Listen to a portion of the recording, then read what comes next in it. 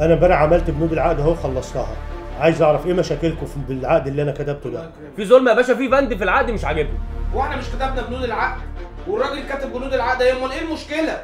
في بند كده مش عاجبني أنا مكتوب في العقد. أنت هتاخده ثلاث أيام وأنت هتاخده ثلاث أيام. واليوم السابع نريح وهنريحه في اليوم السابع. الله ينور عليك يا أستاذنا. ما إحنا متفقين على كده. يا باشا أنا ما عنديش مشكلة اخده ثلاث أيام وهو ياخده ثلاث أيام إحنا اصحاب يعني.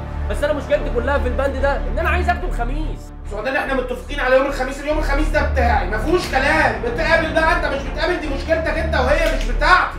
حلها لنا يا أستاذ بعد إذنك. حلها لنا عشان هو عارف إن أنا بقابل الخميس وأنا مشكلتي كلها إن أنا عايز أخده الخميس.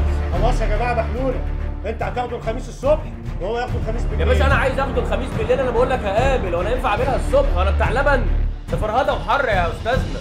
خلاص يا جماعة عنكم عندي قلت لك هتتحل كده اتحلت. انت شايف إن ده حل يرضي ربنا؟ أيوه.